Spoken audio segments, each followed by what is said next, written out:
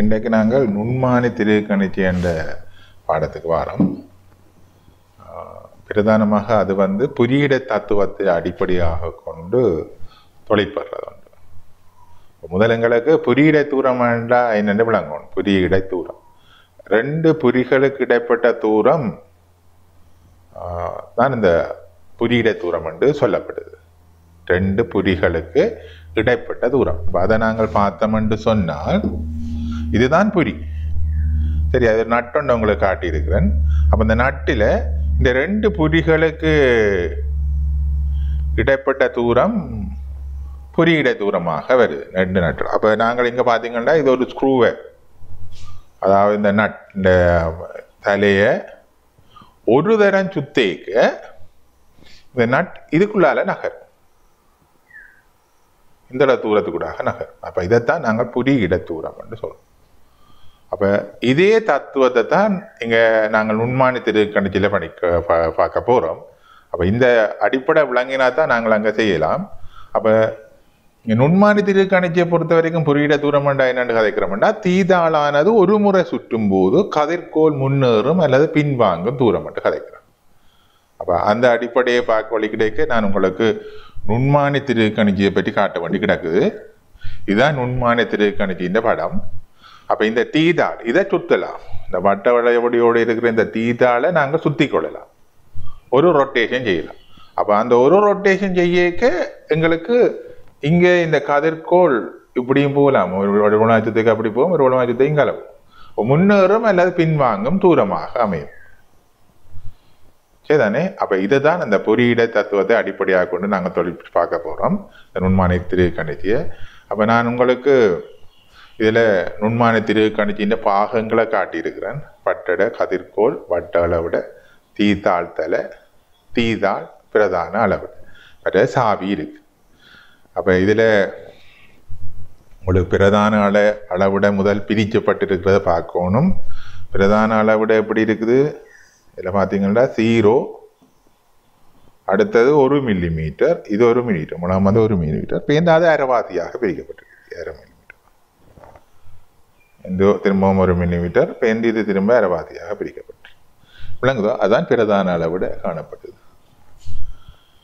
அப்போ இங்கே வட்ட அளவிட தீதாளில் ஏற்றப்பட்டிருக்குது. அந்த வட்ட அளவுடைய நீங்கள் இங்கே அவதானிச்சீங்கன்னு சொன்னால் ஐம்பது பிரிவுகள் காணப்படும். நான் உங்களுக்கு ரியலாக சுற்றி காட்டுவேன். ஐம்பது பிரிவுகள் காணப்பட போகுது. அப்போ தீதாள ஒரு முறை சுத்தேக்க ஐம்பது பிரிவு கூடாக நகரும். அந்த தீதாள ஒரு முறை சுத்தேக்க இந்த கதிர்கோள் நகரப்போகும் தீதாள ஒரு முறை சுத்தேக்க இந்த கதிர்கோள் நகரும். மற்ற தீத்தாளின் தலையின் தொழிற்பாட்டை நாங்கள் செப்பரேட்டாக பார்க்கலாம். தீத்தாள் தலையால தான் நாங்கள் கடைசியாக பொருட்களை முட்டை செய்ய பயன்படுத்தணும். ஏனெண்டா தீதாள் தலை தான் எங்களுக்கு அதின் அதாவது இடையில வைக்கிற பொருளை விகாரப்படுத்தால் இப்போ நாங்கள் ஒரு கம்பி ஒன்றின் விட்டத்தை காண போறோம்னு சொன்னா தீதாளால சுத்தி விட்டோம்னு சொன்னா இந்த கம்பியை நெருக்கி விட்டுடும். இந்த கதிர்கோள் போய் கம்பியை நெருக்கி விட்டு ஆனால் தீதாளால் சுத்தினம்னு சொன்னால் அப்படி நெரிக்காது என்ன நடக்கும் அது போய் முட்டுப்பட்டோடனே கிளிக்ன்ற ஒரு சத்தம் கேட்கும் அதான் அந்த தீதாள அப்போ அங்கே அதுக்கு பிறகு கற்றுழச்சி நடைபெறாது கதிர்கோள் மூவ் பண்ணாது சரிதானே அப்போ இதுகளை அவதானிக்கலாம் மற்ற இங்கே எவ்வளோ மேக்சிமமாக அளக்கலாம்ன்றதெல்லாம் இதில் போடப்பட்டிருக்கு சரிதானே இதில் மேக்சிமம் அளக்கலாம்ன்றது போடப்பட்டு அப்போ நாங்கள் முதல் இதில் திருப்பவும் நாங்கள் இதில் புரியிட தூரம் என்றதை நாங்கள் ஏற்கனவே விளங்கப்படுத்தினால் அந்த புரியிட தூர தத்துவத்தை அடிப்படையாக கொண்டு தான் இந்த முன்னாடி திருக்கணிச்சு வேலை செய்து அப்போ அங்கே புரியிட தூரத்துக்கு பதிலாக நாங்கள் இங்கே கதைக்கிறோம் என்னென்றால் அதாவது தீதாளானது ஒரு முறை சுற்றப்படும் போது கதிர்கோள் முன்னேற அல்லது பின்வாங்குற தூரம் என்று கதைச்சினார். அப்போ இதன் அடிப்படையில் நாங்கள் இழிவெண்ணிக்கைக்கு வாரம் இழிவெண்ணிக்கைன்னு சொன்னால் இந்த கருவியால் அளக்கக்கூடிய ஆக குறைந்த அளவு. அப்போ இந்த கருவியால் அளக்கக்கூடிய ஆக குறைஞ்ச அளவு என்று சொன்னால் நாங்கள் இந்த கருவி அதாவது தீதாள் தலையை ஒரு தரம் சுத்தேக்க தீதாள் தலையை ஒரு முறை சுத்தேக்க ஐம்பது பிரிவு நகரப்போகும்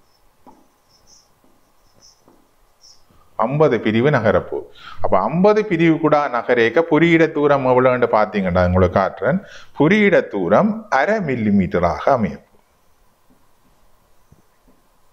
ஐம்பது பிரிவு கூடாக நகர்த்தும் பொழுது தீதாள் வந்து நகர்த்தும் பொழுது சுத்தும் போது அங்கே கதிர்கோல் அரை மில்லி மீட்டர் கூடாக நகர்றதை அவதானிக்கலாம். அரை மில்லி மீட்டர் கூடாக நகர்றது அவ அப்போ நாங்கள் அரையின் கீழ் என்னத்தை கொடுத்துக்கொள்கிறோம் ஐம்பது என்று கொடுத்துக்கொள்கிறோம் இந்த இழிவண்ணிக்கு.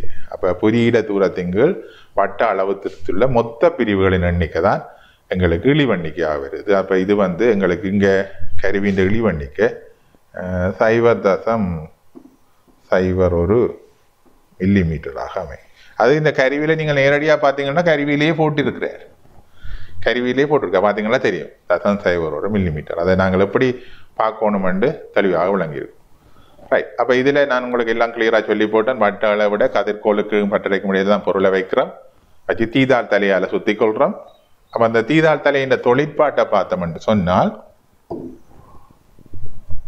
கதிர்கோளுக்கும் பட்டறைக்கும் உள்ள பொருளை விகாரப்படுத்தவாறு கதிர்கோளானது பொருளை தொடும்போது பற்றுணர்ச்சியை நிறைவு செய்கின்றது. இதை நாங்கள் கிளிக் என்ற சத்தத்தை கேட்பது மூலம் அறியும் நீங்கள் அப்போ சுற்றி பார்த்தீங்கன்னா டிக் டிக் டிக் என்ற சத்தம் கேட்டுக்கொண்டு இருக்கு. அப்போ எங்களுக்கு முட்டுப்பட்டுட்டு கதிர்கோளன்றது அறிஞ்சு கொள்ளலாம். சரிதானே? அப்போ நாங்கள் இப்போ நேரடியாக ஒரு திருகாணி நுண்மானியை ஒரு முறை சுத்தேக்க எவ்வளவு தூரத்துக்கூடாக அந்த தீதாள் தலை தீதாள் நகருதுன்றதை பாருங்கோ. அப்போ அதுலேருந்து தான் நாங்கள் அந்த புரியிட தூரத்தை கணிக்கக்கூடியதாக அமை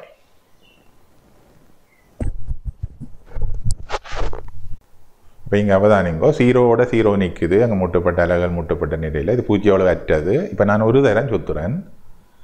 பாருங்க படியா இருபது பிரிவு போகுது இருபத்தஞ்சி முப்பது முப்பத்தஞ்சு நாற்பது நாற்பத்தஞ்சு அங்கே திருப்ப சீரோ ஐம்பதாவது வந்துட்டு. சரி அரை மில்லிமீட்டரான நான் அது நாங்கள் ஒரு ரெண்டு தரம் சுற்றி காட்டுறோம் ஒரு ஏரியா. அப்போ ரெண்டு தரம் சுற்றேக்க அவ்வளோதுக்குள்ள நான் நகர போகுது பாருங்க. தீதால் சுட்டுப்படுவது ஒரு மில்லி மீட்டருக்கூடாக நகர்றதை நீங்கள் பார்க்குறீங்க. சரிதானே? ஒரு மில்லிமீட்டர் கூட நகர்ற. அப்போ அதுலேருந்து விளங்கணும் ஐம்பது பிரிவு கூட நகர்த்தேக்க அரை மில்லிமீட்டர் நகர்ந்திருக்கு. அதான் நாங்கள் வெளிவண்ணிக்கை அப்படி கண்டாங்க அப்போ இனி ஒரு பிரிவு கூட நகர்த்தேக்க இவ்வளவு கூட நகர்ந்திருக்கு. அதான் வெளிவண்ணி சரியோ? ரைட் அப்போ இங்கே இந்த சாவியையும் நாங்கள் தள்ளி இந்த இந்த நிலையிலிருந்து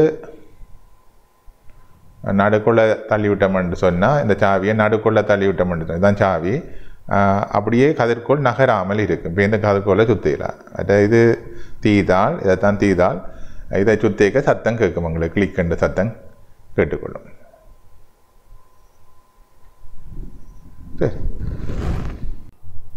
ரைட் அப்போ நாங்கள் இப்போ ஒரு நுண்மானி திருக்கணிக்கை கொஞ்சம் எப்படி அளவீடு எடுக்கிறதுன்றதுக்கு ஒரு படத்தை இங்கே காட்டுறேன் அங்கே அலகுகளுக்கு இடையில பொருட்கள் இருக்குது அதை காட்டே இல்லை. இப்படி தான் உங்களுக்கு படம் பெற போகுது அநேகமாக முன்னுக்கு இப்படி ஒரு படத்தை போட்டிருப்போம். இப்படி இப்படி போட்டிருப்பேன் அதாவது வந்து இங்கே முன்னுக்கு இருக்குது.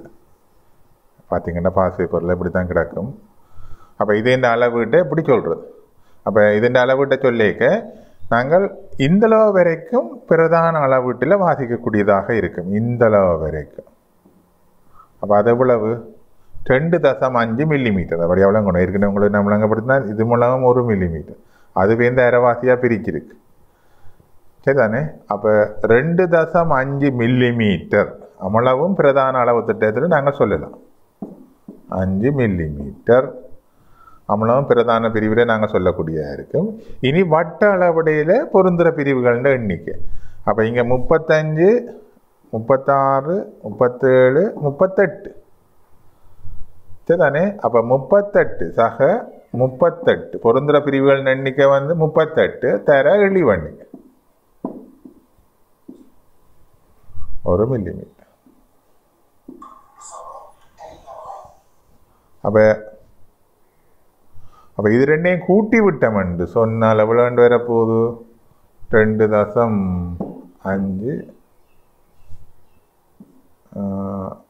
சாரி சாரி ரெண்டு தசம் எட்டு எட்டு கூட்டி விட்டோம் என்றால்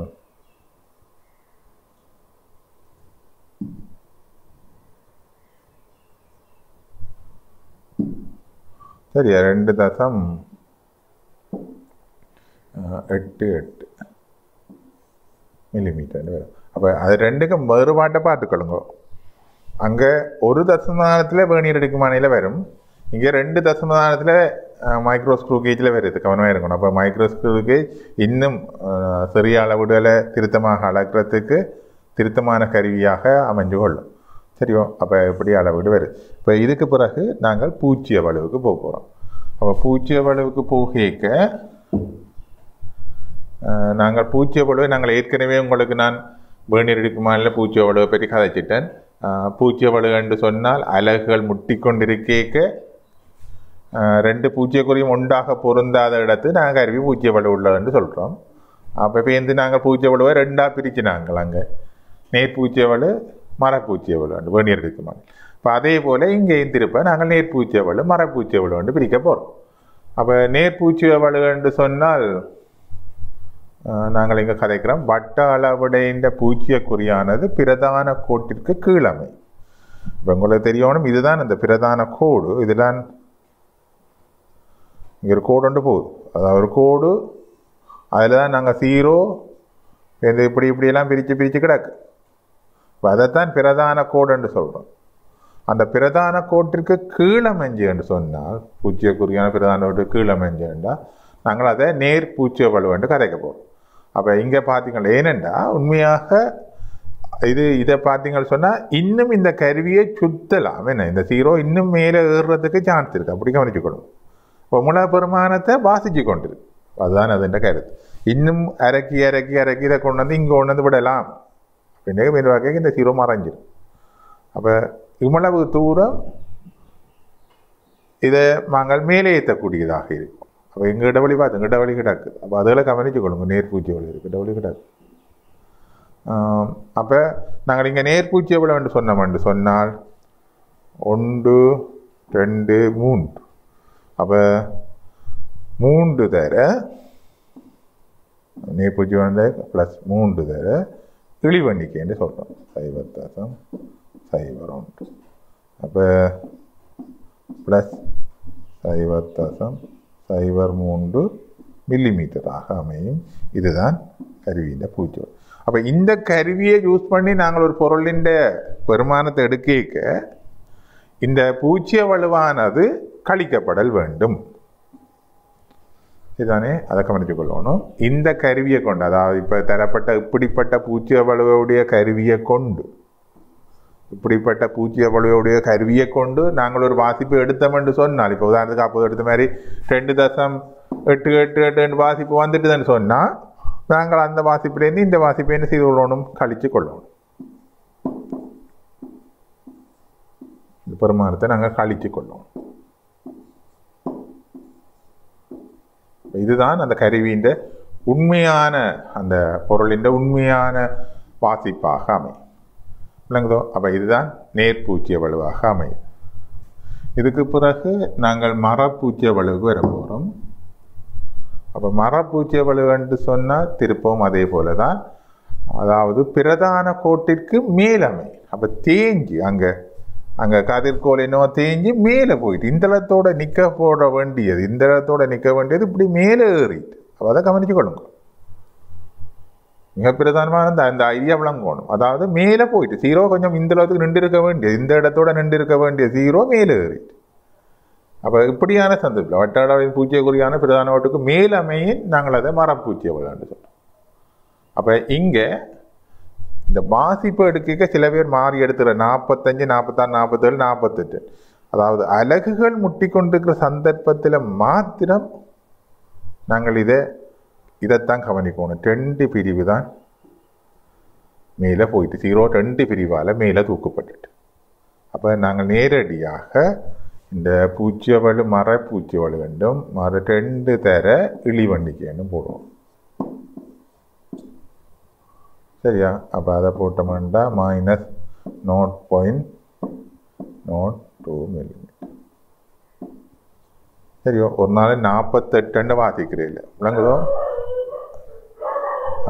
அது அளவுகள் எடுக்கிற சந்தர்ப்பத்தில். இப்படி இங்காலி பக்கங்களில் நிற்க அந்த நேரத்தில் நீங்கள் இருக்க அந்த நேரத்தில் இப்படி ஏதோ நிற்கிற சந்தர்ப்பத்தில் இங்கே இப்படி நாற்பத்தெட்டுன்னு நின்று தான்டா அதாவது இப்படி இப்படி வந்து ஒன்று ரெண்டு இதே மாதிரி நிற்கிற நேரத்தில் இந்த முறை இது நாற்பத்தெட்டு தான். நூறு அப்படி தான் சொல்லுவோம். ஆனால் இது அலகுகள் முட்டி கொண்டிருக்கிற சந்தர்ப்பத்தில் அங்கே இங்கே கிட்ட வந்து ஜீரோ கிட்ட வந்திருக்கேக்க தனியாக நாங்கள் இந்த சந்தர்ப்பத்தில் தனியாக இதை கவனித்து கொள்ளணும். அதாவது ஜீரோ பிரிவு எத்தனை பிரிவு மேலே போயிட்டு. அப்போ ரெண்டு பிரிவு மேலே போயிட்டு அப்போ அப்போ இந்த கருவியை கொண்டு நாங்கள் திருப்ப அளவீடுகளை மேற்கொண்டோம் என்று சொன்னால் உதாரணத்துக்கு இந்த கருவியை கொண்டு நாங்கள் அளவீடு எடுத்துட்டோம் அப்போதே மாதிரி ஒரு அளவீடு வந்துட்டேன்னு சொன்னார் ரெண்டு தசம் எட்டு எட்டு ரெண்டு வந்துட்டேன்னு சொன்னால் இந்த பெருமானத்தை கூட்டிக்கொள்வோம் அது கவனித்துக் இந்த பெருமானத்தை கூட்டணும் இந்த ஒரு ஏன் குறைச்சி வாசித்து கொண்டு இருக்கு.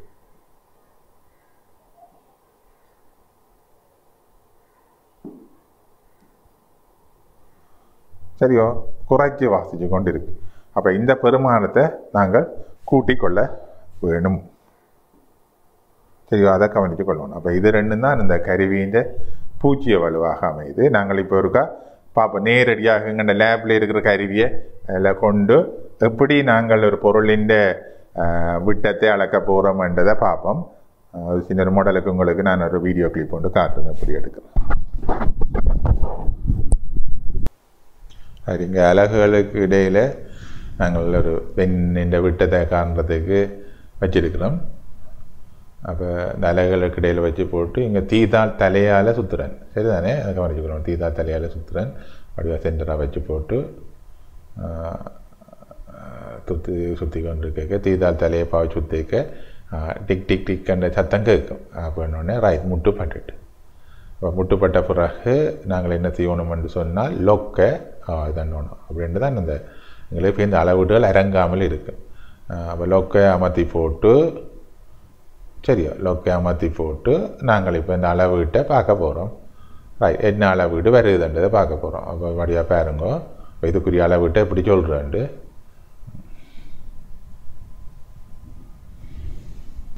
அப்போ இந்த வாசிப்பு பார்த்தீங்கன்னா நாங்கள் இவ்வளவு வரைக்கும் மெயின் ஸ்கேலில் சொல்லலாம் என்ன? இருபதுலேருந்து மூணாவது அப்போ இங்கே பார்த்தீங்கன்னா அஞ்சு ஆறு ஏழு இங்கே தசம் அஞ்சு அப்போ ஏழு தசம் அஞ்சு மில்லி மீட்டர் சரியோ ஏழு தசம் அஞ்சு மில்லி மீட்டர் இங்கால பார்த்தோம்னா இருபது இருபத்தொண்டு இருபத்தி ரெண்டுக்கு வருது அப்போ சக இருபத்தி ரெண்டு தர இழிவணிக்கு நோட் பாயிண்ட் நோட் ஒன் ரெண்டு வரப்போகுது அப்போ இது தசன் ரெண்டு ரெண்டு ரெண்டு வந்திருக்கும் சரியோ அப்போ இதை கூட்டினோம்னா ஏழு தசம் ஏழு ரெண்டு மில்லி மீட்டர் ரெண்டு வரும் பொதுவாக உங்களுக்கு இது நான் ஒரு உதாரணத்துக்கு காட்டினா பொதுவாக நீங்கள் இதை செய்யக்க உண்மையாக ஒரு ஒரு கம்பியில விட்டம் என்று சொன்னால் நீங்கள் அஞ்சாறு இடத்துல அளவு வேணியர் எடுக்குமானியை பாவிச்சு அளவீடுகள் எடுத்து சராசரி காணும் தெரியும் அப்படி கண்டுபோட்டு தான் அதை மூணு நாளால் பிரித்து இறுதி அளவு எடுக்கிறது எங்களுக்கு திருத்தமான வாசிப்பாக அமையும் அப்போ அதை கவனித்து கொள்ளணும் இப்போ நாங்கள் இப்போ ஒரு கேள்வி ஒன்று பார்ப்போம் இங்கே வந்த கேள்வி பாசிப்பில் வந்த கேள்வி இது பாகங்களை குறிக்க சொல்லி கிடக்குது முதலாவது அப்போ ஏன்றது பிரதான அளவிட கவனமாக இருக்கணும் இப்போ இந்த சில பேர் என்னென்ன விளங்காம சில விட எல்லா பாகங்களும் தெரியும் அதை என்னென்ன சொல் என்னத்தை சொல்கிறான்னு தெரியாது கூட சில விட ஆன்சர் பிள்ளை விட்டுடுறது ஏன்றது உண்மையாக பிரதான அளவிட்டே தான் கொடுக்குறது சில விட ஏ என்னோட சில பேர் தீதாளன்னு போடும் அப்போ நீங்கள் ஒன்று வந்து காட்டியிருக்கோம் அது விளங்குதோ அப்போ ஏ வந்து பிரதான அளவிட பிரதான அளவிட. அப்போ இதை நீங்கள் பிரதான அளவுடின்னு போடுவீங்க.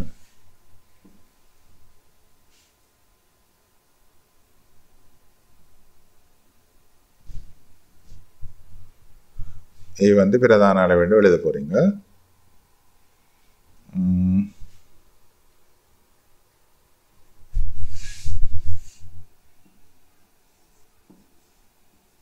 ம். இது வடிவாக எழுதிக்கொள்ளணும் பிரதான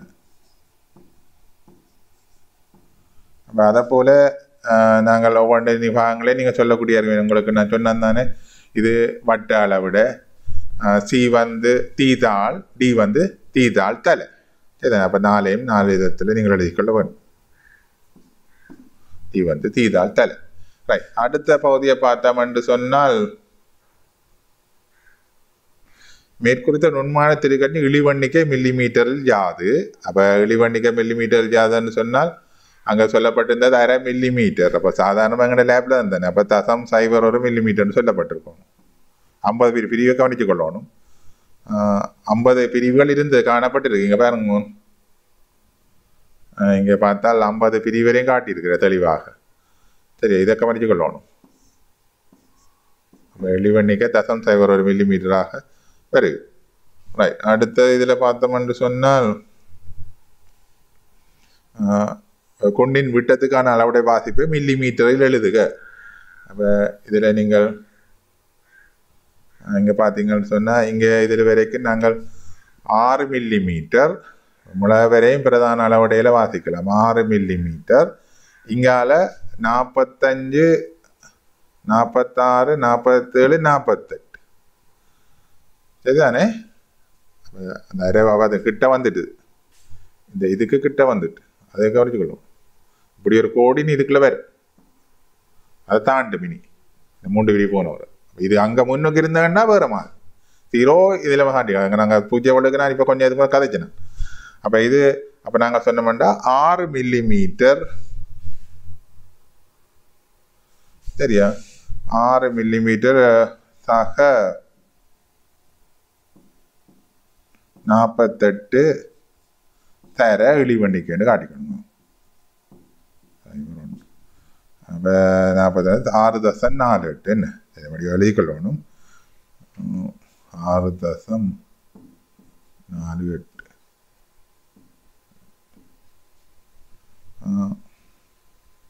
பிறகு வருது பூச்சியோடைய துணைக்கு நுண்மானத்திற்கான செப்பம் செய்யப்பட்டுள்ள ஒரு சந்தர்ப்பம் ஒரு ரெண்டில் காட்டப்பட்டுள்ளது. ஆம், குண்டின் விட்டத்துக்கான சரியான பெருமானத்தை மில்லி மீட்டரில் கூறுங்க அப்போ இங்கே பூச்சியவள் கேட்கல அவன் உடனே பெருமானத்தை கேட்குறான். சரியா? குண்டின் விட்டத்துக்கான சரியான பெருமானத்தை வெளியே இருக்கு அப்போ இந்த பூச்சிவளவு எவ்வளவு முதல்? இந்த பூச்சிவளவு பாருங்க. எத்தனை பிரிவு போயிருக்கு? ஒன்று ரெண்டு மூன்று. மூன்று பிரிவு அதாவது பிரதான குறிக்கு மேலே போயிட்டு. சரியா பிரதான கோட்டிற்கு மூன்று பிரிவு மேலே போயிட்டு அப்போ என்ன மரப்பூச்சியவள் அப்போ மரப்பூச்சியவள் இந்த பூச்சியவள்லேருந்து மரப்பூச்சியவள் மர மூன்று தேர சைவர் தசம் சைவர் ஒன்று சரியா அப்போ சய சைவர் தசம் சைவர் மூன்று மில்லி மீட்டர் இது மரப்பூச்சியவள் அப்போ இந்த பாதிப்பு என்ன செய்யணும் இங்கே கூட்டு போடணும் அப்போ குண்டின் விட்டத்துக்கான சரியான பெருமானம் என்று சொன்னால் இப்படி வந்திருக்கணும் ஆறு தசம் நாலு எட்டு சக சைவர் தசம் சைவர் மூன்று. சரி நீங்களான வாசிப்பை சரியான பெருமானத்தை கொடுக்கணும். சரியோ? அஞ்சு ஒன்று ரெண்டு கொடுக்கணும். இப்படி கூட்டி போட்டு விடுறையில் விட முடிவை எடுத்து கொடுக்கணும். இந்த பெருமானம் கூட்டுப்படணும் விளங்குதோ? ரைட். பின்ன வாழ்வை எழுதுக. எண்முறை சுருக்கல் அவசியம் இல்லை என்ன சுருக்க வேண்டிய அவசியம் அப்போ அந்த முறை நாங்கள் பின்னவள் வலு உங்களை நான் சொன்னால் பின்னவள் என்று சொன்னால் என்னென்னு சொல்ல போகிறோம் இழிவெண்ணிக்கைங்கள் வாசிப்பு அப்போ தசம் சைவர் ஒன்று தான் இழிவெண்ணிக்கை மில்லிமீட்டர்லேயே கிடக்கு கீழ் வாசிப்பு ஆறு தசம் அஞ்சு ஒன்று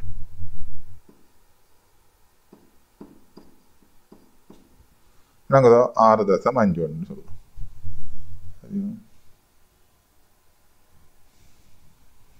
சரியா அளவுக்கு அதுக்கு அழுத்தத்தை தொகைக்கு நுண்மான திருக்கட்டியில் மேற்கொள்ளப்படும் முற்காப்பு யாது. சொல்லிக்க அதில் நீங்கள் எழுதுவீங்கள் அளவுக்கு அதிகமாக அழுத்துவாங்க தீதால் தலையின் மூலம் கதிர்கோலை நகர்த்துதல். அப்பொழுது கிளிக் என்னும் சத்தத்தை கேட்டவுடன் நாங்கள் அளவீடு எடுக்க தொடங்குதல். இதுதானே? அப்போ அதை எழுதிவிட்டா? ஓகேயா ஆமே சரியோ ரைட் அப்போ அடுத்ததாக பார்த்தோம்னா வட்ட குறுக்கு வட்டினுடைய கம்பி ஒன்று நீளம் எல் சமன் ஐம்பத்தஞ்சு விட்டம் டி சமன் நாலு மில்லி மீட்டர் ஒரு மூன்றில் காட்டப்பட்ட ஒரு தட்டிலே விட்டம் டி டூ சமன் அஞ்சு சென்டிமீட்டரும் தடிப்பு டி சமன் மூன்று மில்லும் பொருத்தப்பட்டுள்ளது அடைப்புக்குள்ளே தடிப்பட்ட பெருமானங்களே அன்னளவு பெருமானங்கள் ஆகும் மேற்குறித்த கணைகள் ஒன்றையும் அளப்பதற்கு மீட்டர் கோல் கோலமானி வேணியர் இடுக்கிமானி நுண்மானி திருக்கட்டின் அளவு எடுக்கும் உள்ளவர்கள் பொருத்தமான உபகரணத்தை எழுதுக என்று கேட்டுக்கிறேன் உங்களுக்கு அப்போ உங்களுக்கு தெரியணும் ஒவ்வொரு கருவியாலையும் எவ்வளவு மேக்சிமம் அளக்கலாம். உதாரணத்துக்கு இப்போ நாங்கள் காத்து அந்த நுண்மானி திருக்கணிச்சால இருபத்தஞ்சு மில்லிமீட்டருக்கு மிஞ்சி அளக்கலாம் தெளிவாக இருக்கும். அப்போ நாங்கள் இங்கே பார்த்தோம்னா எல்ன்றதுக்கு என்னதை பயன்படுத்தணும்? மீட்டருக்குள்ளே கோலை பயன்படுத்தும் டி ஒன் அளக்கிறதுக்கு நுண்மான திருக்கணிச்சியை பயன்படுத்தும் டி டூ அளக்கிறதுக்கு வேணியர் எடுக்குமானியை பயன்படுத்தும். தடிப்பு டீயை அளக்கிறதுக்கு நுண்மானி திருக்கணிச்சியை படுக்கும் இந்த கோலமானி அளக்கணுமெண்டா தடிப்பெட்டியே கோலமானியை இதில் இந்த மூன்று கால்களையும் ஏற்றக்கூடியதாக அமையும் தடிப்பழக்கப்படுற இதுகளின் இதுக்கு மேலே இந்த மூன்று காலையும் ஏற்றத்தக்கதாக அமைக்கணும் அப்பதான் நாங்கள் தடிப்புக்கு இந்த மூன்று காலுக்கு இடையில அந்த பொருள் போனோன்னா தான் நாங்கள் தடிப்பு அளக்கலாம் கண்ணாடி தட்டத்தில் வச்சு போட்டு இப்போ இந்த நாங்கள் இந்த தடிப்பு அளக்கக்கூடிய அது கோல மாதிரி படிக்க நான் உங்களுக்கு கொடுக்க காட்டுறேன். இந்த மாதிரி தடிப்பு ரைட் அடுத்த இதில் பார்த்தோம்னு சொன்னால் தட்டின் தடிப்புக்கு மிகச்சிறந்த பெருமானத்து பிறகு நீ பின்பற்றும் பரிசோதனை நடைமுறையை கூடுன்னு சொன்னால் இந்த தட்டின் தடிப்பை காணணும்னு சொன்னால் பல இடங்கள் நாலஞ்சு இடங்கள் நான் ஏற்கனவே உங்களை சொன்னேன். நாலஞ்சு இடங்களில் வேணியரடி மானை கொன்று தடிப்பை அளந்து பின் சராசரி தடிப்பை காணுது அதான் அந்த சரியான முறை. தடிப்பை அளக்கிறதுக்குரிய திறந்த சிறந்த முறையாக அமையுது பரிசோதனை முறையாக. ஒரு குறித்த வகை பொலித்தீன் தாளின் தடிப்பு ஒரு உண்மான திரிக்காட்சி இழிவணிக்கின் பார்க்க மிகவும் சிறிதாகும்.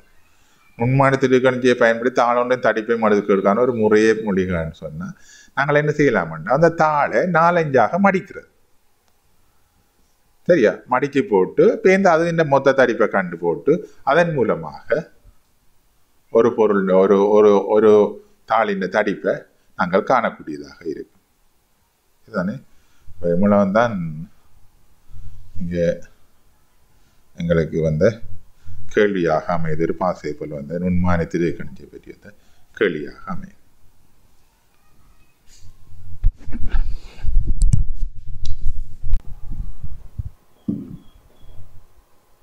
நாங்கள் நுண்மான திருக்கணிச்சியில் ஒரு மேலும் ஒரு கேள்வியை பார்க்க போகிறோம் மாணவன் ஒருவன் கம்பி தொண்டிலிருந்து அளவீடுகளை எடுக்கின்றார் விட்டம் டீனை துணியிருக்க சில வாசிப்புகளை நுண்மான திருக்கணிச்சியை கொண்டு எடுக்கின்றார். பின்வரும் வாசிப்புகள் அவரால் புறப்பட்டு. அப்போ ஏன் இப்படிக்கான வாசிப்புகள் வருது? விளங்கணும் நாலஞ்சு இடத்துல விட்டத்தை எடுக்கிறார். நாங்கள் சொன்னாங்க தானே என்ன கம்பி சீர் இல்லாமல் இருக்கலாம். அப்போ கம்பி சீர் இல்லாமல் இருக்கேன்டேக்க நாலஞ்சு இடத்துல விட்டத்தை எடுத்து போட்டு அதில் சராசரியை படுறதான் உண்மையாக கம்பியில் விட்டத்தை படுறதுக்குரிய முறை. விளங்குதோ? ரைட் அப்போ அதுக்காண்டி தான் நாலஞ்சு அப்போ நாலஞ்சு வாசிப்புகள் இங்கே காட்டப்பட்டிருக்கு. அதோடு இங்கே காட்டப்பட்டிருக்கிறது கருவி மூடப்பட்டுள்ள போது. சரியா? கருவி மூடப்பட்ட போது இப்படி ஒரு வாசி அப்போ உடனே விளங்கணும். கருவி மூடப்பட்ட போது ஜீரோ பிரதான கோட்டுக்கு வரையில்லை. ஆகவே பூஜ்ஜிய வலை இருக்கு. அப்போ முதலாவது கேள்வி கேட்குற அதுதான் கருவியின் பூஜ்ஜிய வழி யாது அப்போ நாங்கள் இங்கே பார்த்தோம்னு சொன்னால் ஒன்று ரெண்டு மூன்று. மூன்றாவது பிரிவு தான் இந்த பிரதான கோட்டில் வருது. அப்போ நாங்கள் சை இது நார்மலாக எங்களுக்கு இழிவணிக்கை சைவர் ரசம் சைவர் ஒன்று எடுத்துக்கொள்ளுவோம். அப்போ மூன்று தர இது சக பூச்சியோட என் மேலே போய் மூன்று தர. சைவர் தசம் சைவர் ஒரு மில்லி மீட்டர்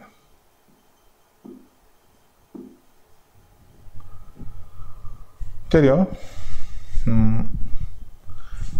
இப்போ இங்கே நாங்கள் வளமையாக ஐம்பது பிரிவு வளமையாக ஐம்பது பிரிவை கொண்டது வந்து உங்களுக்கு தெரியும் அரை மில்லிமீட்டருக்குள்ளால நகர்றேன் இங்கே நூறு பிரிவை கொண்டது ஒரு மில்லிமீட்டருக்குள்ளாக நகர்றதா இருக்குது. அது ஒன்றும் சொல்லுப்படே இல்லை. சிலதுகள் சில இதுகள் இது ஒரு லோக்கல் பேப்பர்ன்றபடியால் அப்படியான பிரச்சனைகள் வரும். ஃபைனல் பேப்பரில் கிளியராக போடுவாங்க வடிவா. அப்போ இங்கே இதை பார்த்தோன்னு விளங்கணும் நூறு பிரிவே இருக்கிறது ஒரு மில்லிமீட்டர் கூடால நகர்றது. சரிதானே?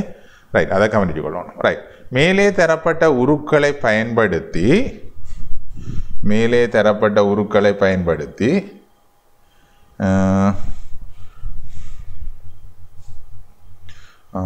கம்பியின் விட்டத்துக்கான பெருமானங்களை எழுதுக. அப்போ இங்கே வந்து இருபத்தஞ்சு இருபத்தாறு இருபத்தேழு இருபத்தெட்டுன்னு வருது. அப்போ இந்த வாசிப்பை போட்டு அதாவது இருபத்தெட்டு இருபத்தெட்டு.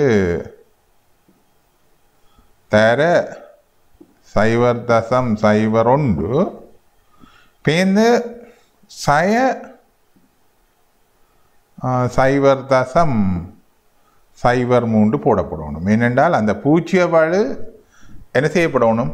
கழிக்கப்படல் வேண்டும். சரியா பூஜ்ஜிய வலு கழிக்கப்படல் வேண்டும் அதை போல் எல்லாத்துக்கும் நீங்கள் செய்யணும் அப்போ இதில் வந்து இது வந்து முப்பத்தொண்டு அப்போ முப்பத்தொண்டு பிரிவு தர சைவர் தசம் சைவர் ஒன்று சய ஏன் பூஜ்ஜியவில் அங்கே சகவாக இருக்குது அந்த வாசிப்பு கூட்டுப்பட்டு ஒன்று இருக்கா ஆகவே இந்த வாசிப்பு கழிக்கப்படணும் சைவர் தசம் சைவர் மூன்று அதை போல் இந்த இடத்துக்கு வந்தோம்னால் இருபத்தொன்பது.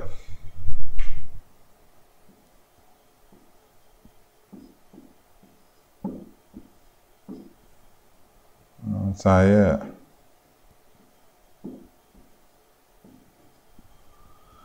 நாலாவதுக்கு போனோம்னா எண்பதில் நிற்குது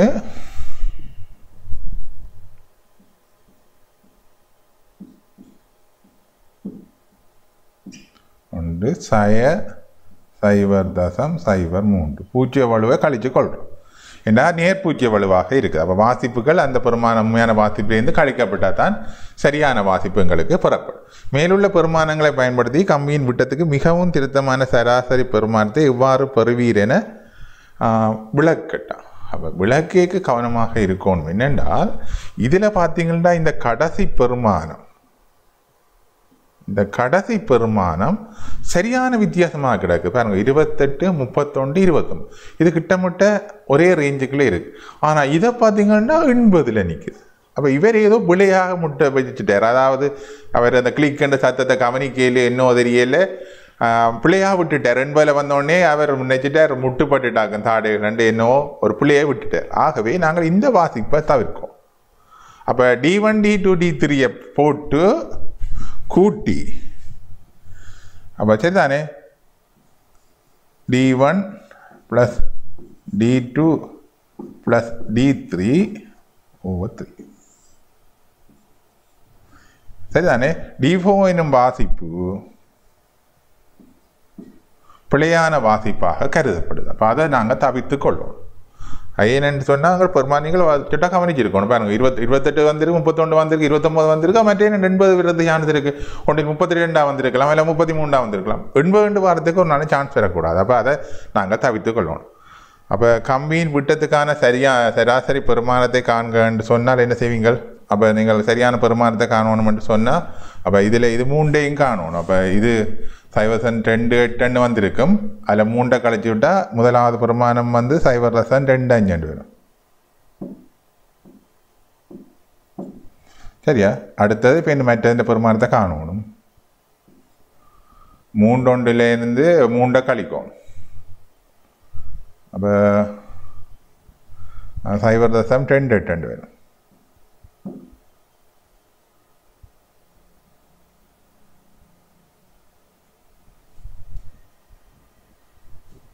சரியோ அடுத்தது வந்து சைவர் தசம் ரெண்டு ஆறு வருது மூண்டாரை கழிச்சு போட்டு ப்ளஸ் சைவர் தசம் ரெண்டு கீழ் மூணு ரெண்டு போட்டு இந்த பெருமானத்தை சரியாக கணிச்சு கொடுக்கும் சரிதானே கம்பியின் விட்டத்தின் பெருமானத்தின் சதவீத வலுவை காணுங்க அப்போ இந்த பெருமானத்தை நீங்கள் கூட்டி மூண்டால் பிரிக்கி ஒரு பெருமானத்தை எடுத்திருப்பீங்க சரியா அந்த பெருமானம் வரும் அதை கூட்டி எடுங்கும் சைவர் சென்ட் ரெண்டு அஞ்சும் சைவர் சென்ட் ரெண்டு எட்டையும் சைவர் சென்ட் ரெண்டு ஆறையும் கூட்டி போட்டு மூன்றால் பிரித்து ஒரு பெருமானத்தை எடுப்பீங்க அப்போ சதவீத வலுகை என்னென்று காணிக்கிறது இழிவெண்ணிக்கையின் கீழ் அதாவது இழிவெண்ணிக்கை எவ்வளவு சைவர் தசம் சைவர் ஒன்று கீழ் இந்த பெருமான் இன்டு ஹண்ட்ரட் இதுதான் சதவீத வலுவாகும் அப்போ இதுதான் சதவீத அளவாகும் நாங்கள் நூறுக்கு பார்க்கணும். இப்போ இது இந்த சதவீதத்தை பார்க்குறோம் ரைட் அதுக்கு பிறகு நாங்கள் அங்கால பார்த்தோம் என்றால் மாணவன் மீட்டர்கோ லத்தினியல் தெராஸ் என்பதை பயன்படுத்தி அளவீடுகளை எடுத்தார். கம்பியின் நீளம் வந்து அறுபது சென்டிமெண்டும் கம்பியின் திணிவு சைவத்தன் சென்ட் ரெண்டு ஏழு கிராம் என்றும் பெரியது. கம்பியின் கன அளவை கணிப்பதற்கு மேலுள்ள அளவீடுகளை பயன்படுத்து. அப்போ நீங்கள் உங்களுக்கு விளங்கணும். கம்பியின் கன அளவை காண்றேன்டா. என்னண்டு? இப்படி தான் வரப்போகுது. இப்படி தான் கம்பி இருக்க போகுது. இப்போ விட்டத்தை தான் நாங்கள் அளந்து கொண்டிருந்த நாங்கள். இப்போ வந்து இந்த நீளத்தையும் சரியா? நீளத்தையும் கம்பியின் திணிவையும் அளந்திருக்கிறார். சரியோ? அப்போ எங்களுக்கு கம்மியின் கன அளவை காணணுமெண்டா ஏற்கனவே இங்கே விட்டத்தை கண்டுட்டீங்க அப்போ விட்டத்தின் அரைவாசியை காணும். அப்போ தான் நான் குறுக்கோட்டு பிறப்பை காணலாம். அப்போ கன அளவை காணணுமென்று சொன்னால் இது இந்த குறுக்கோட்டு பிறப்பை என்று வச்சிங்கன்னா ஏ இன்டு எல் தான் கன அளவாக வரும். வி சமன் ஏ இன்டு எல் அப்போ ஏயை காணும் ஏ என்னென்று வரும்?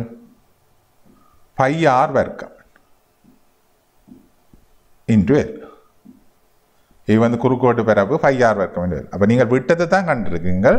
அப்போ இது வடிவாக செய்து முடிக்கணும். Pi into D by two தானே?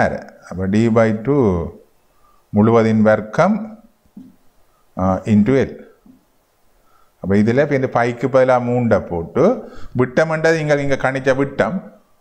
இல்லை பெருமானத்தை கணிச்சிருப்பீங்க. அதை விட்டத்தை போட்டு அதை ரெண்டால் பிரிக்கணும். விட்டத்தின் அந்த பெருமானத்தை போட்டு ரெண்டால் பிரிக்கு இப்போ இந்த அதிൻ്റെ வர்க்கத்தை போட்டு. இன்டு எல் கவனமாக இருக்கணும் இது மில்லி மீட்டரில் இருக்குது. இது சென்டிமீட்டரில் இருக்குது அப்போ நீங்கள் இதை பேருந்து பத்தால பெருக்கி மில்லி மீட்டருக்கு ஆக்கணும் அல்லது எல்லாத்தையும் சென்டிமீட்டர் ஆக்கணும். அதுகளை கவனிப்பினும். சரிதானே? இந்த விட மில்லி மீட்டரில் வர்க்கத்தில் வரும் அல்லது ஒன்றி சென்டிமீட்டர் அதுகள் கவனிக்கப்படும். என்னென்றா நீங்கள் சுருக்காம விட்டாலும் பரவாயில்ல. ஆனால் இந்த அலகு போடுறது மிக பிரதானமாக கவனிக்கப்படும். என்னென்றால் எதில் வச்சிருக்கணும் ஒன்றை மில்லி மீட்டரில் வச்சு ஒன்றை சென்டிமீட்டரில் வச்சுருக்கக்கூடாது. சரிதானே அப்போ இதில் எங்கள் கடைசியில் மில்லி மீட்டர் கணத்தில் ஆன்சரை கொடுக்கப்படும். அடர்த்தியை காண்கன்னு சொன்னால் கன அளவை கண்டுட்டீங்களா? அப்போ எங்கள் கன அளவு காணப்பட்டிருக்கு? அப்போ கன அளவு கண்டால் இங்கே கிராமில் கிடக்கு திணிவு அப்போ திணிவு சமன் கன அளவு தர அடர்த்தி. பெரிய கேள்வியாக போகுது. திணிவு சமன் கன அளவு தர அடர்த்தி. அப்போ திணிவு கவனம் அடர்த்திய பொதுவாக கிலோகிராம் மீட்டர் மைனஸ் த்ரீயில் கொடுத்தீங்கன்னா தான் சரியாக இருக்கும். ஆகவே இதை நீங்கள் பார்க்க முதல் எம்ம கிலோகிராமு கொண்டு வரணும். அப்போ கிராமில் இருக்குது அப்போ சைவசன் ரெண்டு ஏழு தர பத்தின் செய்ய மூன்று. சாமன் கன அளவு இங்கே காணிச்சிருக்கிறீங்க. அப்போ அந்த கன அளவை மில்லி மீட்டர் கியூப்பில் இருக்கிறத மீட்டர் கியூப்புக்கு மாற்றோம் சரிதானே? மீட்டர் கியூப்பு மாற்றி இன்று ரோ வந்து போட்டு இந்த ரோவை காணும். சரிதானே? அப்போ இதுதான் கல க கம்பியாக்கப்பட்ட திரவியத்தின் அடர்த்தியை காணும். அப்போ இதில் கவனித்து கொள்ளணும். அடர்த்தியை கொடுக்க கிலோகிராம் மீட்டர் மைனஸ் த்ரீ இது மில்லி மீட்டரில் அடக்க மீட்டருக்கு மாற்றணும். சரி ஒரு மில்லி மீட்டர் வந்து பத்தின் செய்ய மூன்று. அண்டா பத்தின் செய்ய ஒன்பது இதில் போடப்படணும் பெருக்கப்படும் இந்த கடத்தி என்ற பெருமானத்தை கண்டு அது வந்து பத்தின் செய்ய ஒன்பதால் பெருக்கப்படும். விளங்குதோ? ஏனண்டா கன அளவு அடுத்தது நீர்கணித்த அடர்த்தியின் பெருமானத்தின் பின்ன வலுவை கணிக்கன்னு சொல்லி கிடக்கு. அப்போ அதுக்கு ஒரு தரவு தந்து கிடக்கு. ஏற்கனவே நான் உங்களுக்கு செய்தேன். நான் அல்ஃபா பீட்டா கேமாண்டு போட்டு நாங்கள் அதை செய்த நாங்கள் அதை இங்கே அவர் உங்களுக்கு தந்திருக்கிறேன் சரியோ? இங்கே இந்த பின்னவளவுக்குரிய கோவையே எங்களுக்கு தரப்பட்டிருக்கு. அப்போ இதில் இங்கே காட்டப்பட்டிருக்கு. அதாவது வந்து அடர்த்தி வந்து திணிவின் கீழ் கன சரியோ? அப்போ திணிவின் கீழ் கன வண்டேக்க கன அளவை பேர்ந்து பையார் வர்க்கம் இன்று எல்லண்டு போடப்பட்டிருக்கு. அதுபடியாக விளங்கிக்கொள்வோம் இங்கே நாங்கள் போட்டிருக்கோம். பையார் வர்க்கம் இன்டு எல் அதான் நீங்கள் வர்க்கம் பெரு. அப்போ பையார் வர்க்கம் இன்டு எல்லண்டு அடிவத்தில் இந்த கன அளவு காண்றது இங்கே போடப்பட்டிருந்திருக்கு அப்போ நாங்கள் ஏற்கனவே கண்டதன் அடிப்படையில் தனித்தனியாக பின்னவழுவை காணணும். அப்போ முதல் நாங்கள் திணிவுக்கு பின்னவழுவை போடணும் இந்த வையன்றது திணிவுக்குரிய பின்னவழு அப்போ அதுக்குரிய பின்னவழுவுக்குரிய கோவையை போட்டோம் என்று சொன்னால் இழிவண்ணிக்கையின் கீழ் பெருமானம் அப்போ இழிவண்ணிக்கை இங்கே நோய் இருக்கும். சைவர் தசம் சைவர் ஒரு கிராம் இது ஒரு நாச்சட்ட ராசு கீழ் പിന്നെ பெருமானம் சைவர் தசம் ரெண்டு ஏழு